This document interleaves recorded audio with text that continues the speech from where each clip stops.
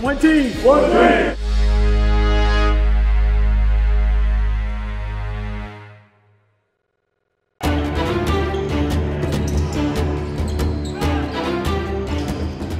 On the court, I'm probably one of the loudest people on the court. Talking, trying to get everybody enthusiastic about the game, get ready, go harder. I gotta be a leader, make sure we're good on defense, everybody's in their spots, talk to the freshmen, tell them it's gonna be good days, bad days. Um, I gotta run the team as the point guard, be like a coach on the floor, and do my part.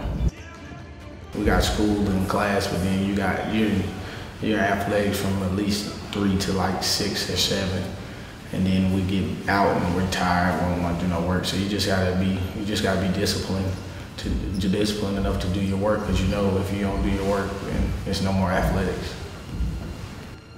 It's evolved a lot over the past month. Like the boot camp thing really helped us and brought us together. And like, like yesterday we had a team dinner. Everybody where KL and Marvin cooked for everybody, and they came to our apartment. And we was in there bonding and stuff. We talked about the season without the coaches being around and nothing. So we all got to say what we needed to say. When we all come together, with it's just like a big family. It's no outsiders, no people standing off this or nothing. It's just we all family.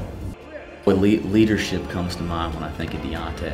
You know, uh, he's about as competitive as of a kid as I've ever coached. You know, I think about Marvin Smith and the way he works. I think about Diante and the way he works. He works so darn hard, and he's starting to become so much more savvy as a basketball player and his feel for the game and playing the point guard position. You know, so I think he's a guy that's just gotten better every year. We need him to not only continue that that growth, uh, but also really lead us out on the floor. Certainly, we're going to ask a lot for him to create for us in the open floor, to create for us in our half court offense. But I want to see him be the steady point guard that he's always wanted to be and we've always expected him to become. Uh, he needs to really set a tone for us defensively. You know, on the ball, uh, guarding the other team's point guard. We'll place, we'll face some really good point guards on our schedule this year. Uh, but I do think Diante's maybe the heart and soul of who we are on the perimeter with his energy and his leadership and his ability. Just like these other guys, expect a ton of growth from him into his junior year and a lot of leadership. Everybody's on the same page. We all have the same goals. Personal, they have their personal goals, but nobody's personal goals is overdoing our team goals.